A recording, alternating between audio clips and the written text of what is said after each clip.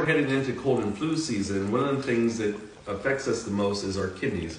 Now, did you know that during the winter months, the kidneys are more prone to disease? So, what we want to do is we want to do things to strengthen those kidneys. Step one, you want to keep your lower back warm and not expose your kidneys to cold. Step two, a, a great Qigong practice to do to tonify the kidneys is called the kidney cleansing exercise. And all we're going to do is I'm going to place a hand first on my right kidney, gaze at the back of the opposite hand, and I'm going to bend at the waist, gazing at the palm. As I inhale, coming up on the top, I'm going to look at the back of the hand.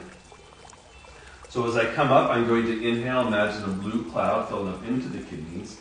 Then as I exhale, releasing out any toxicity, and in particular, the emotional components that harm the kidneys is the emotional components of fear and shock.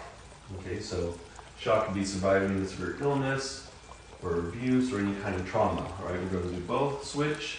Now you can do as many repetitions as you want.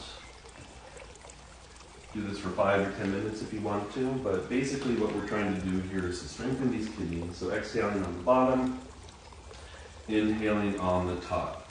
Then we're going to come back, finishing up by pulling down the heavens one time. Inhale and exhale.